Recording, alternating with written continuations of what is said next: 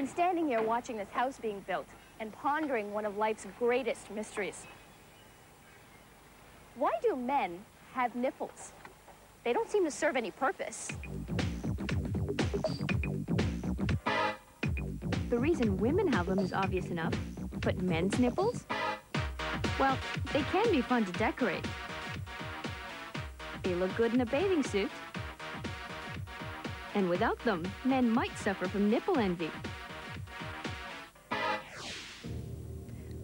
To get the real answer to why men have nipples, we have to return to the womb.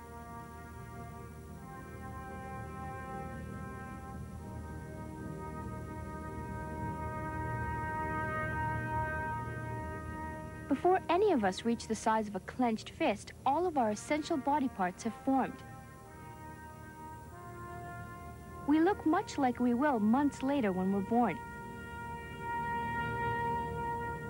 But if you looked really close, you'd notice one difference.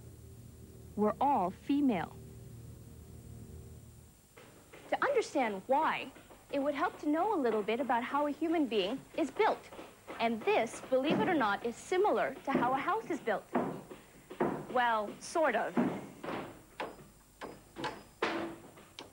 If you were in the business of building houses, what sort of houses would you build? It's a tough question because people's tastes are so different. Some people want one bathroom, others want two. Some want bay windows, others want regular windows. The possibilities are endless. You could solve the problem by building everybody their own custom-designed house, but few could afford such a luxury. So, what do you do? Well, you proceed to build a house, but you make sure you've designed it so that the hole you leave in the living room wall can easily accept either a normal window or a bay window. You make sure you install a bit of extra plumbing so you can easily put in a second bathroom. You come up with one generic design that, with a few minor adjustments, has the capability to miraculously transform from one model into another. It's much more efficient than drawing up a different plan for each and every house. By mass producing these houses, you can appeal to people's varied tastes, as well as their pocketbooks.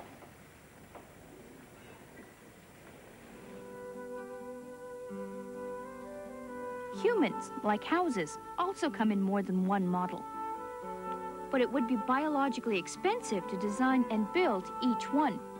And you are, and therefore Mother Nature solves this problem the same way the house builder does, by designing one generic model that can be easily modified. As you can see, it's sitting. This generic model happens to be female.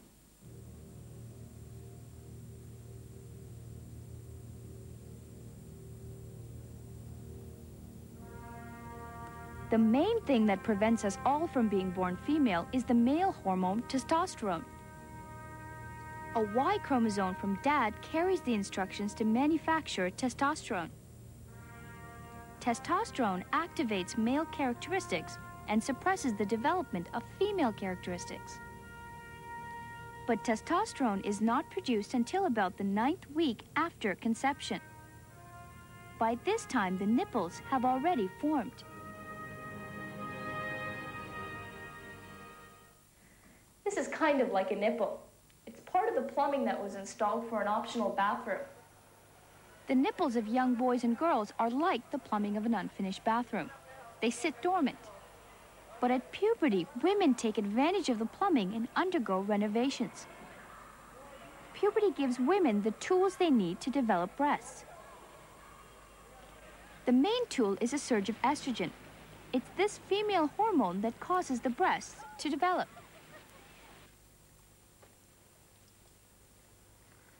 But men don't have this tool. That's why they can't finish the job. That's why their nipples remain dormant. But all the plumbing is still there. That's why if men were given estrogen, they'd grow breasts. So, back to the question. Why do men have nipples? Well, it all comes down to Mother Nature being efficient. Men have nipples simply because women need them.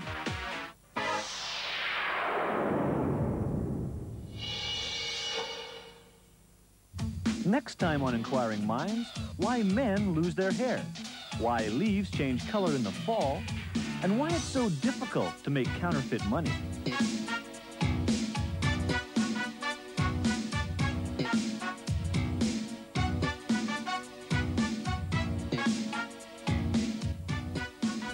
Share research tips with winners of the annual Science and Technology Awards in the Winning Edge on Sunday night at 9.30. But in the meantime, Earth Visions takes a look at the Eagles.